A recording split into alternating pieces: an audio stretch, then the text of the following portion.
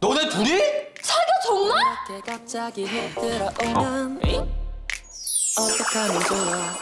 처음부터 도현이가 남자로 의식됐나 봐. 나 송이 많이 좋아해. 진짜 잘해보고 싶어. 한송이! 아 이거 진짜 나 진짜 이런 놈 아닌데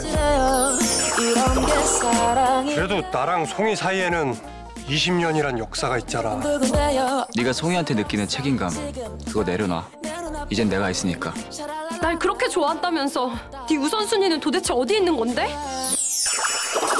딱 반년만 아버지 좀 도와줘. 착한 아들. 그거 지긋지긋해. 송이 막상 어머니 보면 무너질 거야 옆에 누가 있어줘야지 너 지금 안 오면 나랑 끝이야. 나 가야 돼 찾을 수 있는 엄마가 있어서 좋겠다 조금만 더 해낼게요. 부모님 말씀이 맞았어. 혼자서 뭘 하겠다고. 자기도 몰랐던 감정을 깨닫는 건 완전히 다른 얘기니까. 네가 송이한테 그런 것처럼. 도와줘요 제발 나 인정하기로 했다 니들이랑 사는 거 좋아 내가 없어도 괜찮을 거야. 난 좋아 난 이제 나갈게.